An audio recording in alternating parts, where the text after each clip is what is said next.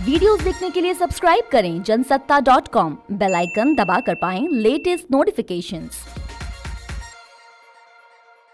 स्वागत आपका जनसत्ता पर। मैं हूँ आपके साथ अंशिका सारडा। बॉलीवुड की बेबो आज अपना अड़तीसवा जन्मदिन मना रही हैं। जी हाँ हम बात कर रहे हैं करीना की ही। करीना कपूर एक ऐसे शख्सियत है, जिनके खानदान में हर कोई सेलिब्रिटी है, चाहे बेटा तैमूर हो या फिर पति सैफ अली खान। करीना और सैफ अली खान की उम्र में करीब 10 साल का अंतर है। लेकिन दोनों की जोड़ी में प्यार की कोई कमी नहीं है।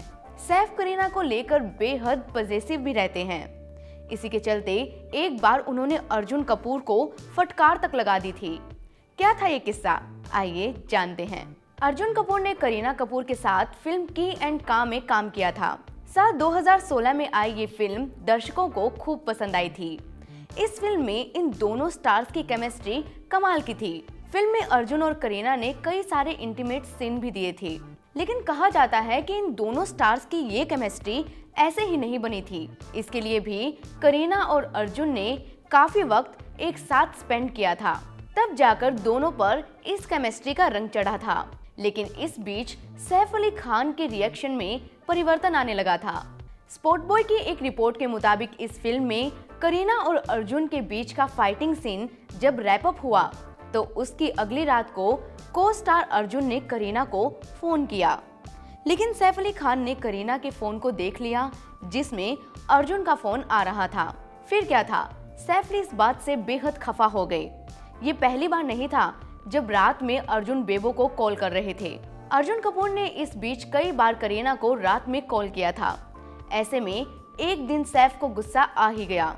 एक इंटरव्यू में सैफ अली खान ने खुद बताया था, उस दिन मैंने कॉल पिक की और अर्जुन से बात की।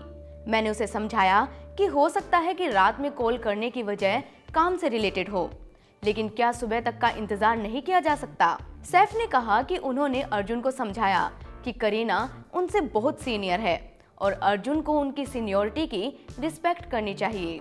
बता दें कि इन दिनों अर्जुन कपूर मलाइका अरोड़ा के साथ अपने रिश्ते को लेकर चर्चा में हैं। मलाइका के अरबाज खान के साथ डिवोर्स के बाद ही ऐसी खबरें आने लगी थी कि मलाइका और अर्जुन एक दूसरे को डेट कर रहे हैं।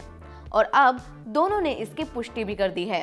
वर्क फ्रंट की बात करें तो करीना इंग्लिश मीडियम और गुड न्यूज़ जैसी फ़िल्मों में नज़र आने वाली है। तो ये था करीना कपूर के बर्थडे पर उनके और सैफ के जीवन से जुड़ा एक किस्सा। आपको ये वीडियो पसंद आया हो तो इसे लाइक करें और हाँ कमेंट बॉक्स में करीना को हैप्पी बर्थडे विश करना बिल्कुल ना भूलें।